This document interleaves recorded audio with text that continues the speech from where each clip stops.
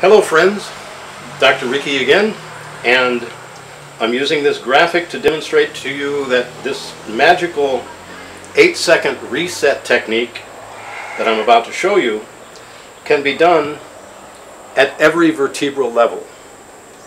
At each level of the spine, each disc level, you want to be at each point. The first points are at the base of the spine, and we hold pressure to the point of resistance. When the body pushes back, when you get a rebound effect, that's where I stop. With a petite young lady like this, we don't need to use a lot of pressure. Equal points bilaterally can be treated at the same time with equal pressure. Other points, it's not a good idea to do at the same time.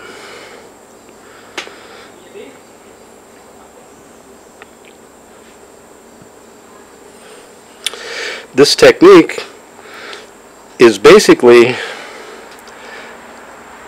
a physiological reset button. So if we were to think of this button right here as being like a reset button, like maybe on your router, if you push and hold the button not quite enough, guess what happens? Nothing. But if you hold it long enough, in this case 8 seconds, there's a reset effect that goes way beyond the effect of muscle massage. This is a muscle reset technique. Basically, restore factory settings. So that is the lumbar miracle 8 second technique. And continuing with the thoracics,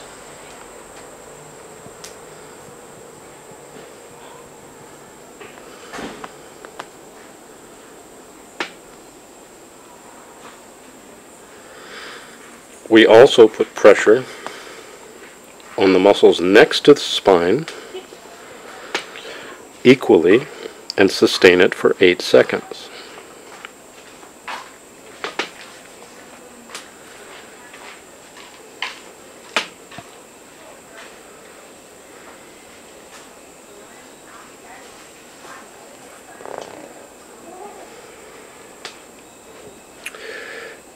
A little editorial note is that on a big person, we could use her elbow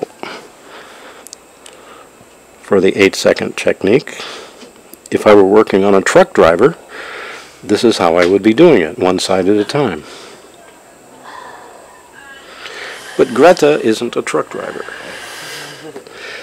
So we just use our thumbs. And we can do both sides at the same time.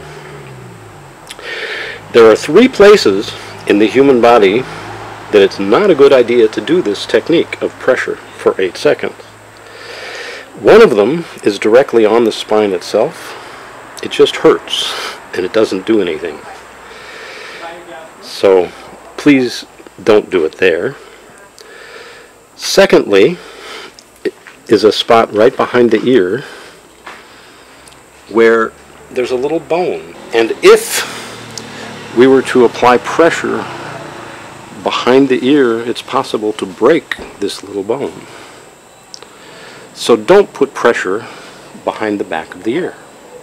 And then, the last place is on the front of the neck. We can put pressure on either side, but not both at the same time. That could cause problems.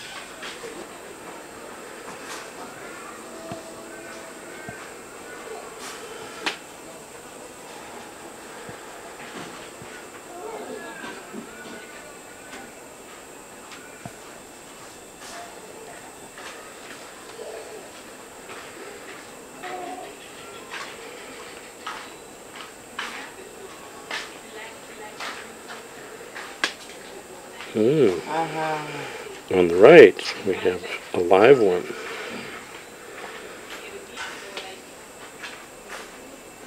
I'm holding pretty firm pressure on this right point, and it's a little bit involved. On a scale of 1 to 10, how much pressure do you feel? On the last one? Mm-hmm. Uh, 9, 8 to 9. Okay. It's usually a good idea to ask a patient to judge the amount of pressure that they feel from 1 to 10. And any of the points that are an 8 or more, it's good that they let you know. You don't stop applying pressure. In fact, you want to be sure you hold pressure a little bit longer for those points and make sure that the reset effect occurs because the ones that are very sensitive are the ones that the person really needs work with. And the bladder meridian splits and has two parts. These are double points. And so we're treating the other points on the outer bladder meridian. Eight seconds each, and very patiently, anywhere and everywhere in the whole body except those three places. Directly on the spine, right behind the ear, and the front of the neck.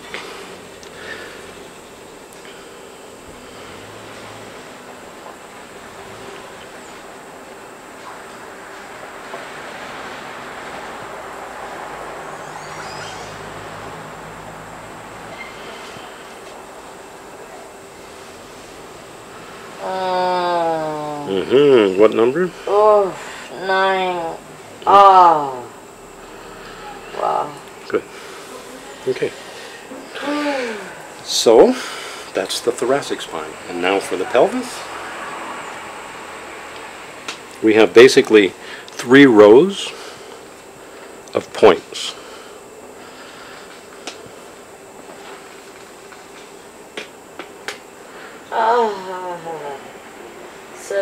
Seven on the left side. Thank you.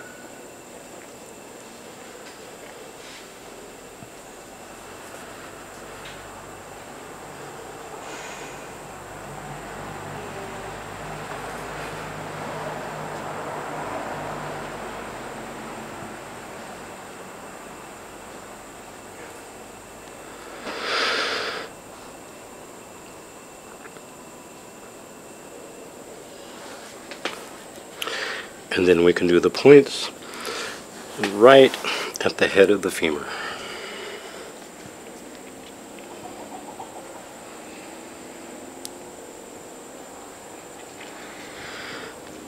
Other good ones for this are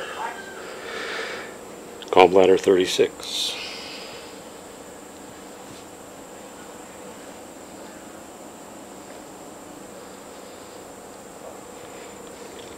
And that's the pelvis. Thank you.